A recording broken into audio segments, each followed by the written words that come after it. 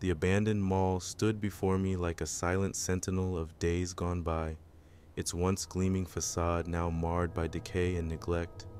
The air was thick with the musty scent of dust and mildew, mingling with the faint hint of something more sinister, an undercurrent of unease that sent shivers down my spine. I had always been drawn to abandoned places, fascinated by the eerie beauty of their forgotten halls and crumbling facades. But as I stepped through the shattered entrance of the mall, a sense of foreboding settled over me, a primal instinct warning me of dangers unseen.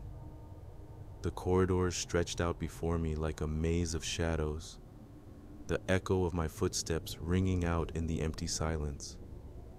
The once bustling shops stood deserted, their windows shattered and their displays covered in a thick layer of dust, a haunting reminder of the lives that had once thrived within these walls. As I ventured deeper into the heart of the mall, the air grew colder, the darkness pressing in around me like a suffocating blanket. The scent of decay hung heavy in the air, mingling with the faint hint of something more sinister.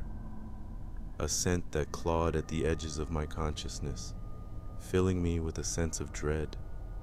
But still, I pressed on, drawn deeper into the dark, hazy corridors by an irresistible curiosity, a desire to uncover the secrets that lay hidden within the decaying walls of the mall. With each step, the darkness seemed to grow denser, the shadows stretching out like tendrils to ensnare me in their grasp. And then, just as I began to feel hopelessly lost, I stumbled upon a staircase leading down into the bowels of the mall, a forgotten passage hidden beneath layers of debris and decay. With a sense of unease, I descended into the darkness, my footsteps echoing in the empty silence.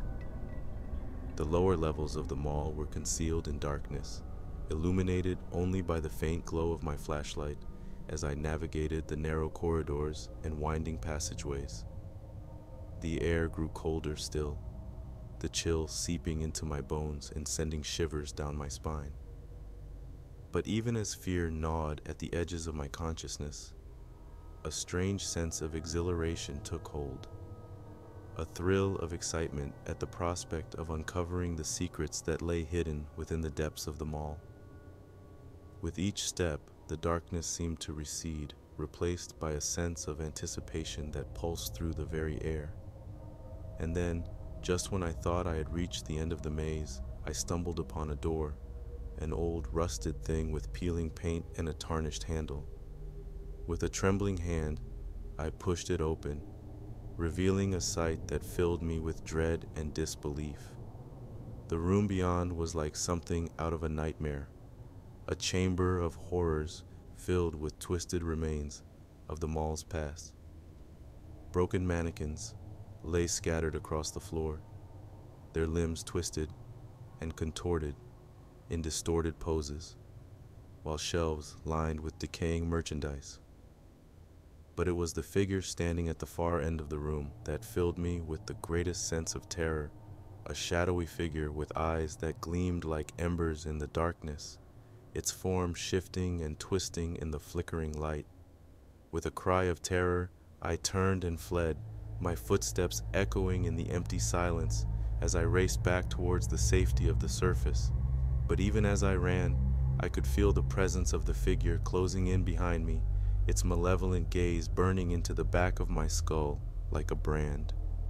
And as I burst out into the daylight, gasping for breath and trembling with fear, I knew that I had narrowly escaped a fate worse than death, a fate that lurked in the shadows of the abandoned mall, waiting to claim unsuspecting souls as its own.